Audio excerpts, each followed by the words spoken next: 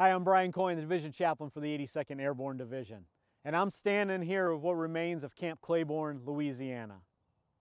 And right behind me at the post flagpole here on May 7, 1942, General Omar Bradley, the commander of then the 82nd Infantry Division, assembled the entire division behind me.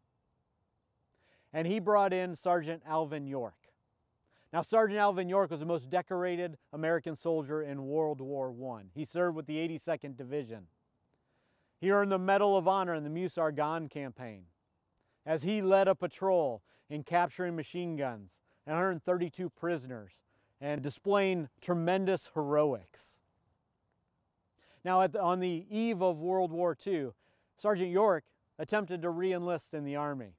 Now, he was a little too old and a little too broken, and uh, the Army respectfully declined.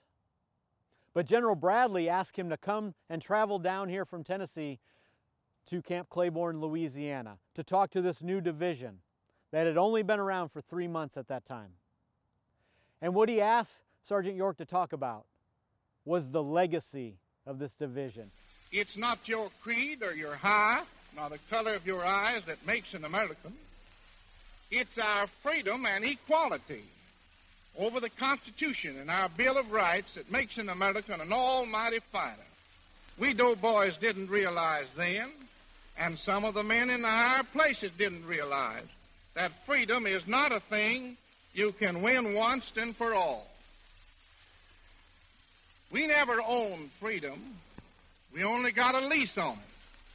And these soldiers walked away knowing that they were part of a great team and that they were continuing on an amazing legacy that was epitomized by Sergeant Alvin York.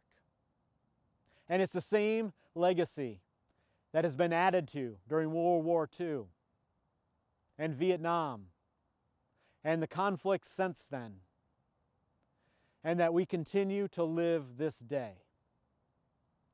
That is our legacy, and it is up to each and every one of us paratroopers to live it out today and in the future.